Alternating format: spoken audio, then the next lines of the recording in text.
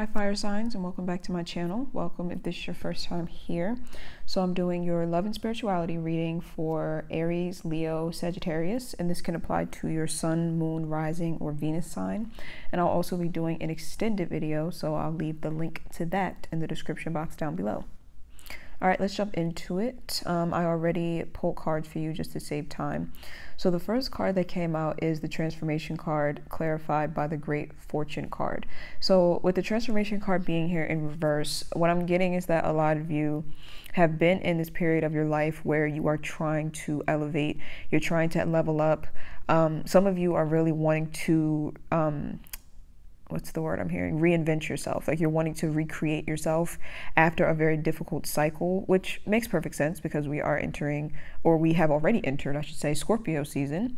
So Scorpio energy is all about um, death and rebirth, not literal death, but it's like the death process that takes place um, when we complete a very difficult cycle in our lives and we need to kind of shed our skin and um, become a better version of ourselves in order to step into a new cycle. So some of you are doing that or you're being advised to do that. Like if you feel like you are just in a rut and you have no clue what to do next and you feel kind of lost, it looks like you're it looks like you're being advised to recreate yourself. Because what's happening is that you have stepped into this new energy but you're trying to show up in this new energy as the past version of yourself. So it's it's like conflicting. You have to show up in this new stage in your life as um, the present or the yeah, I guess that yeah, the present version of yourself or the the better version of yourself in order for you to feel at peace. Uh, like you'll always feel this inner conflict when you're in a completely new stage in your life and you're trying to repeat old habits. Okay,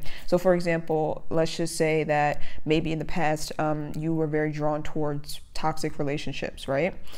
It's like you've learned so much through going through those situations that when it's time for you to now step into a more healthy relationship, it's like you can't show up doing the same things that you were doing in those past relationships because it's a whole new energy now. You see, so it's like you have to um, kind of elevate and step into this new version of yourself in order for you to feel comfortable in this new cycle that you're about to enter.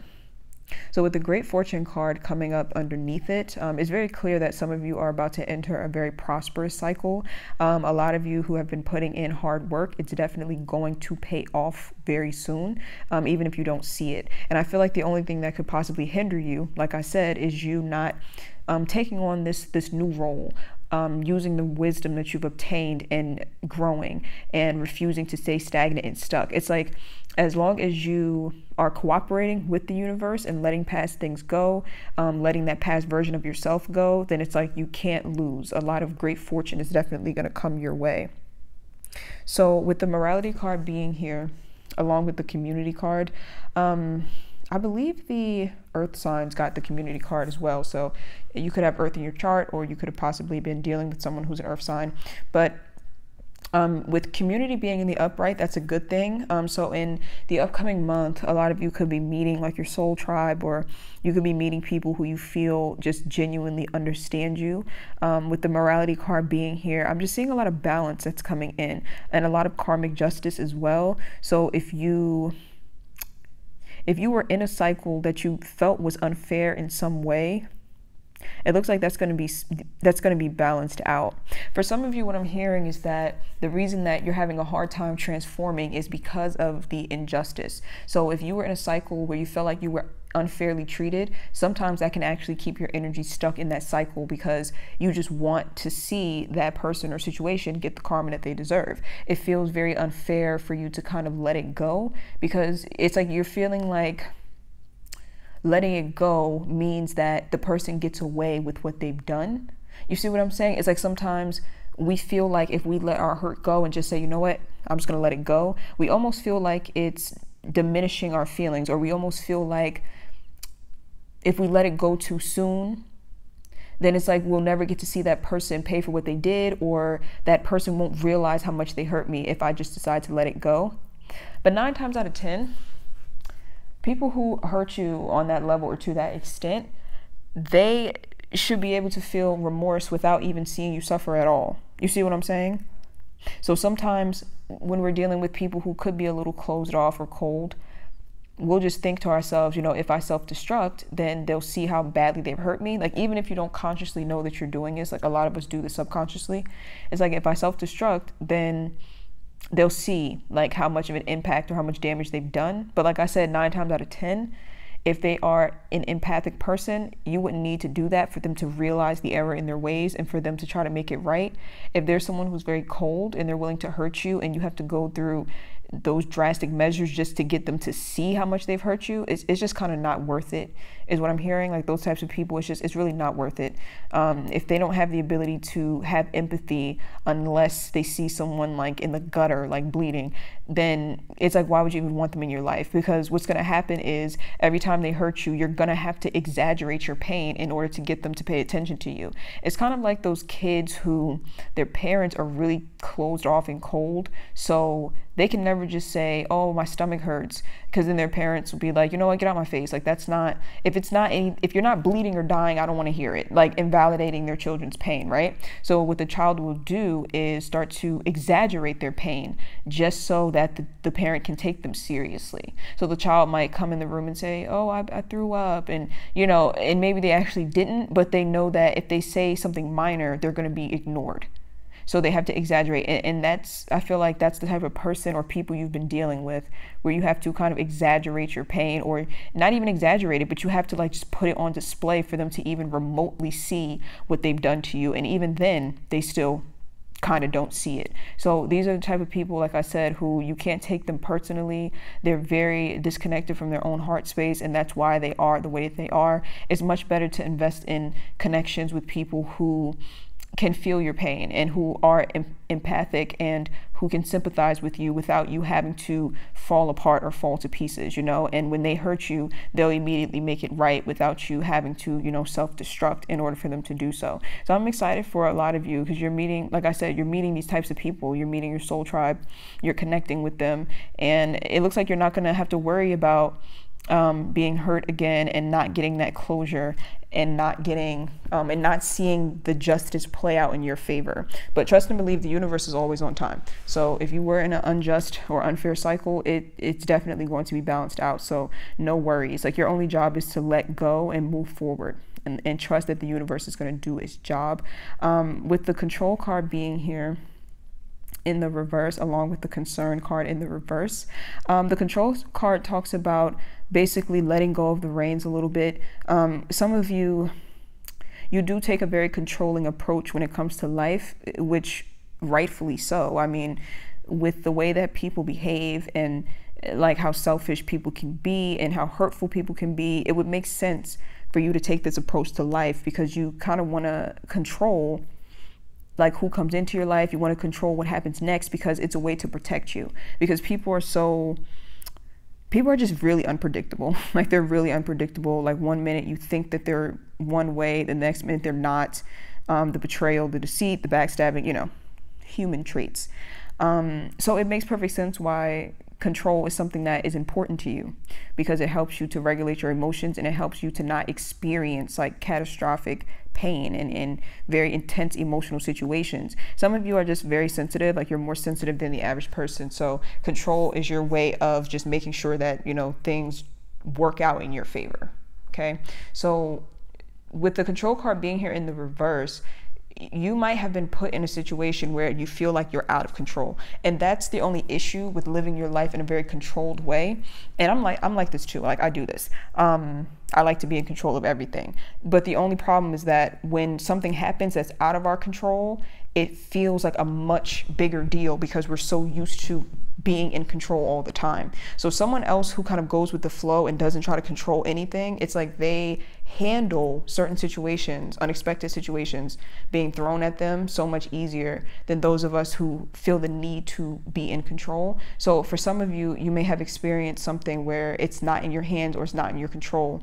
And um, I think that what that was meant to teach you is that sometimes things are not going to be in your control so why put yourself through the stress of constantly worrying and being hyper vigilant and trying to think ahead, if that makes any sense? And it's easier said than done because, like I said, it is a defense mechanism that we develop in order to keep ourselves safe. So it's easy to say, you know, oh, you can't guess what's going to happen next. Just relax. But some of you, that's exactly the advice that's being given because sometimes being in control or trying to be in control can actually cause us to sabotage our own happiness or our own lives because we want to be able to predict what's going to happen next. And if we don't, sometimes we can just initiate an ending just off the strength just off the strength that we don't know what's going to happen next so we want to be in control of what happened next what happens next so we just end things or we just walk away or we just sabotage a really good opportunity so basically i think that this is teaching you um, how to trust in a higher power how to trust in the universe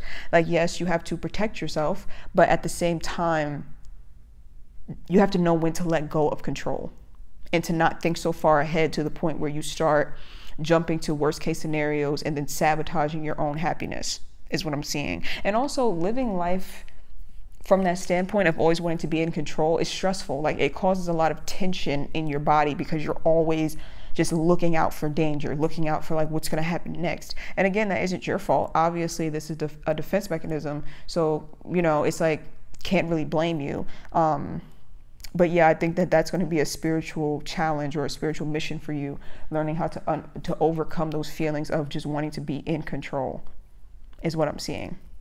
And also, the good news is that whatever the situation was where you felt out of control, it's falling away from you in the upcoming weeks, meaning that you're healing from it, you're recovering from it, you're not going to be thinking about it that much. Um, because when you experience something that's not in your control, it can stick with you for a very long time because you can be analyzing it like, okay, what went wrong there? Like, let me analyze the details of this so that I never have to repeat this experience again. And again, that's a defense mechanism to keep you safe. Um, so some of you could be in that energy of just analyzing a past situation to death because you're trying to figure out what went wrong and how you can fix it or how you can avoid it next time. And that in itself can be very uh, kind of stressful. But in the upcoming weeks that's falling away from you, your concern, your anxiety, and your worry are um, going to be lessening in the upcoming weeks.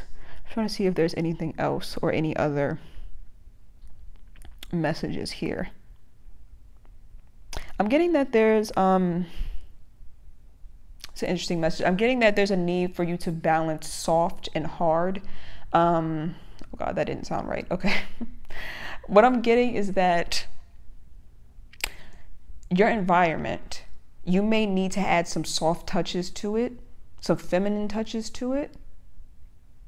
Because I'm seeing, I, I think this is for a very small group of you, but I'm seeing like some of you, your room or your house isn't necessarily decorated. It could have like the bare minimum in it. So you could have like a bed, you know, a headboard, a dresser, things of that sort, but you may need to add some feminine touches like a, a painting or like some flowers or something like that. Um, interesting because a message like that came up in the in the earth signs too, needing to add feminine touches to the environment. Um, I think that honestly that's because of Scorpio season because Scorpio season can be quite a heavy energy like it can carry a lot of heavy energy. And so sometimes like feminine touches or, or like soft delicate touches in your home can help to kind of alleviate some of that um, heavy energy that comes with Scorpio season is what I'm seeing. All right so let's pull for um, your outside energy. And for those of you who are new, the outside energy is basically the energy of a person or a situation that is impacting you the most. And we pull for outside energy because um, it's rare that we learn lessons um, on our own. Usually we learn lessons through interacting with people in our outside environment. So let me pull for that. Okay, so I pulled for your outside energy. So what came up on your end is the guidance card in reverse, sudden wealth, and the gift card. And then on their end, they got postponement, the courthouse, and the thief card. Okay, interesting. So with you coming up as the guidance card in reverse, um, this lets me know that whatever this outside energy is, it's something that you're having a hard time figuring out.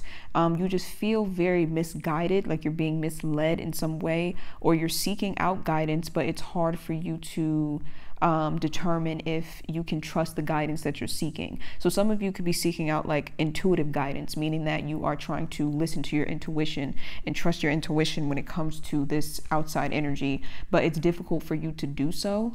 Um, it's just like a very, it's like an energy of just being just very confused is what I'm seeing. But it's interesting because for some of you, even though you are confused, it's like you are seeing it as okay the fact that i'm confused it lets me know that i need to withdraw my energy. And i would agree with that. Um, and if you aren't taking that approach that may be the advice for you to take because when you're really really confused about something it doesn't mean you have to just jump to the worst case scenario and like cut the situation off. But when you're confused about something that means there's an imbalance somewhere. It could be an imbalance within that person meaning that like maybe they've shown you things that make you um, kind of weary of them like you, you don't know if you can trust them so it, there's the confusion there. Or it could be that um, they are a trustworthy person, but maybe you are still tr- um, struggling with trust issues from your past. But either way, there's still like an imbalance, and it would be difficult to kind of maintain a relationship or a connection under those circumstances. And again, with outside energy, it doesn't just have to be love, it doesn't even have to be a person. This could be a career that maybe you want to go for, but it's not very stable, or um, it's like it's not a guaranteed position in this career. So you're trying to figure out, you know, is it worth um, kind of going for it and taking the risk. So just take it as it resonates with. It can be different things. Um, so some of you are, like I said, are kind of withdrawing your energy you don't want to continue to feed this situation until you know you're more balanced and you're able to see things more clearly with the sudden wealth card being here as well um, this lets me know that there is definitely some type of luck or abundance that's coming to you and you could be focusing on that um, in order to distract yourself from whatever this outside energy is. So for example um, let's say that this is a romantic partner that you can't figure out or like you're just very misguided about them. Um, you could be focusing on work in order to withdraw your energy from that person because you're just very confused which sometimes like i said that could be you know the best solution. Sometimes when talking it out or trying to communicate doesn't work there's a need to sometimes retreat a little bit you know doesn't mean you have to cut them off or ghost or act like you don't care but um, eh, sometimes it's best to re- to retreat a little bit and focus on other areas of life until you have you know the clarity that you need. So on their end we have the postponement card and um, that lets me know that this person is definitely I'm hearing that they're focused on something. Oh, okay. What I'm hearing is that this person, their life feels very bleak, sort of hollow, and they are hoping to find something that will kind of brighten their life, is what I'm hearing. Hmm. I, I need to clarify that. They're searching for something that could brighten their life. For some of you, if this is a person that you're separated from, it could very well be that they're thinking of the connection that you had with them because that was a source of happiness for them. And now that you're gone, they feel kind of drained. Um, but that's for, I think that's for a small group of you. I'm going to pull one more.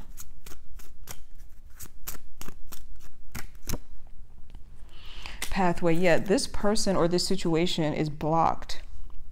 This could be like a um, a grass is the grass greener on the other side type of thing? So this could be like someone who is taking you for granted or who did take you for granted in the past and now they're kind of stuck or blocked because of the fact that they took you for granted or because they didn't appreciate what they had.